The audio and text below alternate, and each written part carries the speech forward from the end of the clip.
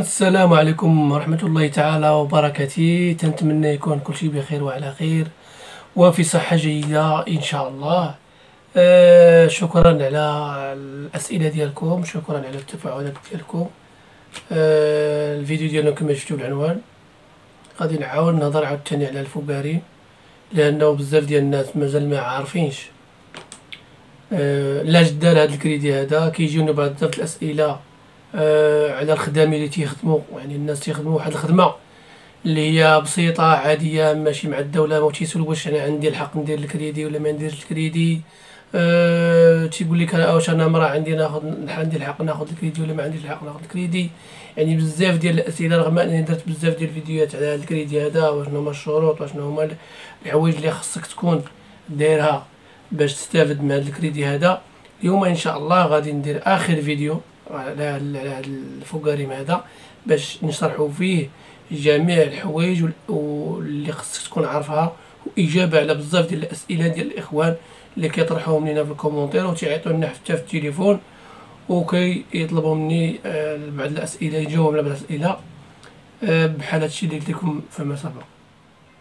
اذا اليوم هنا قدامي واحد النموذج غادي نحاول نقرأ عليكم باش تعرفوا هذا الفوكاريم هذا هذا الكريدي فوكاريم علاش دار وشكون هي الفئة من الدار وهادشي كامل إن شاء الله غادي نعرفوه في الفيديو هذا. إذا ما عليكم إلا تبعونا من الأول حتى الأخر وقبل ما نبدأ كنقول لكم الاخوان اللي مازال ما تابوناش في القناة تابونا في القناة وفعلونا الجرس باش يوصلكم الجديد وما تبخلوش لنا بلا لايك وبسم الله نبداو على بركة الله.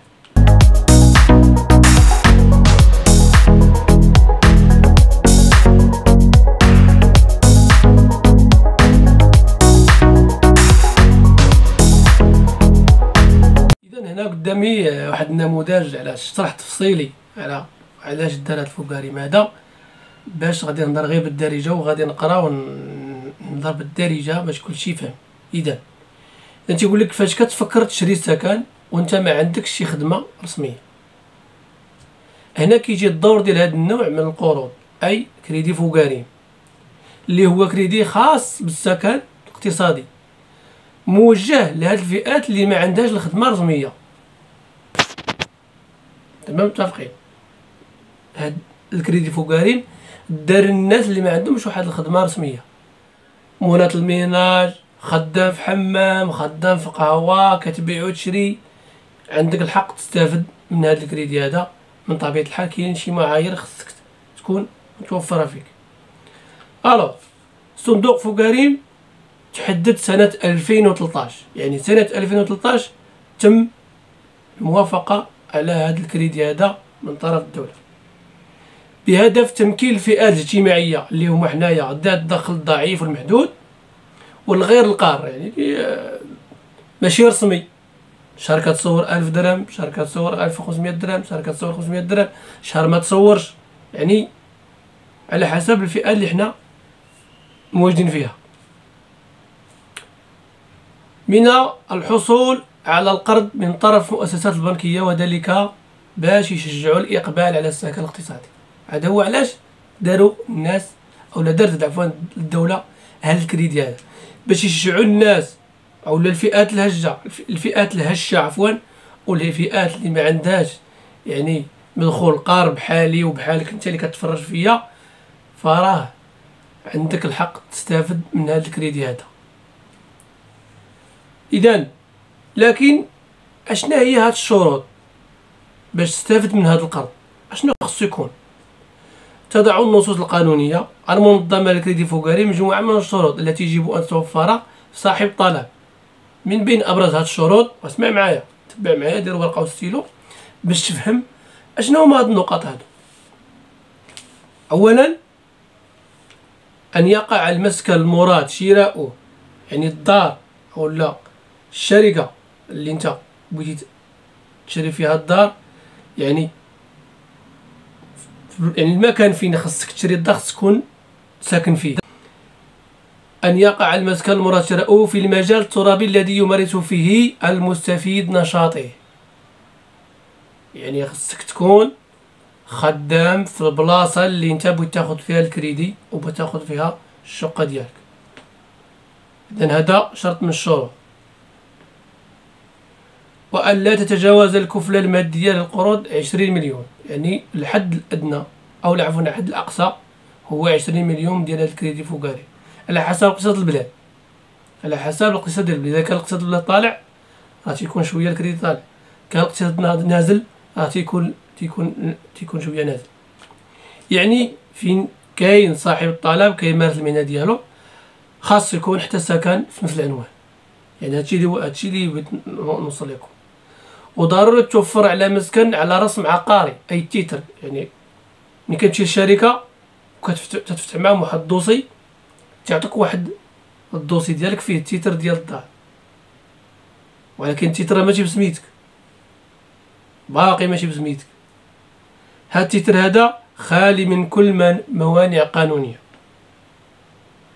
اذا ثالثا إثبات صاحب الطلب بموجوب تصريح بالشرف مزاولة العمل الحر أو العمل اللي كي اللي تيقوم به.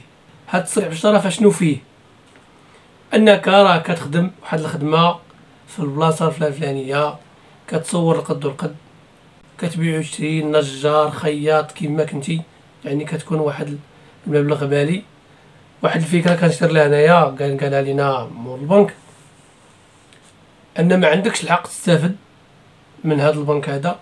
إذا مشيتي قلتي لهم بأن الدخل ديالي شهريا ما كيتجاوزش 1500 درهم يعني 70000 ريال. إلا قلتي لهم قل من 70000 ريال راه ما غاديش يقبلوا ياخذوا من عندك كريدي. عفوا ما بغوش يديروا لك الكريدي. ما غادي يقبلوش يعطيك الكريدي. إذا والتوفير على شهادة الدعم الملكية ليتمكن من الحصول على صرف بمبلغ يصل إلى 200 ألف درهم.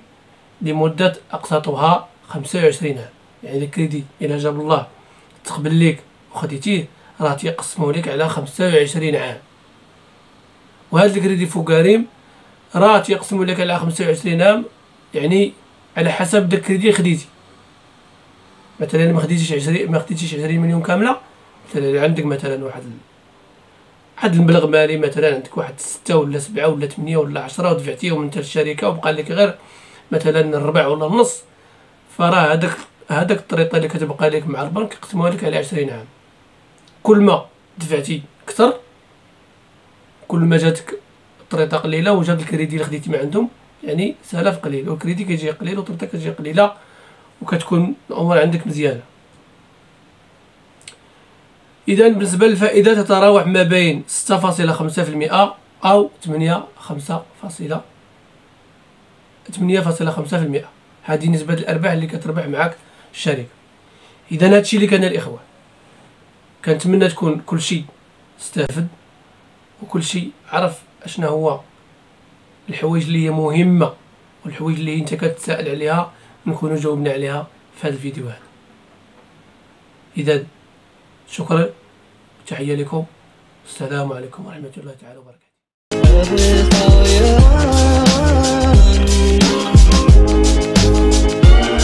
Sin amor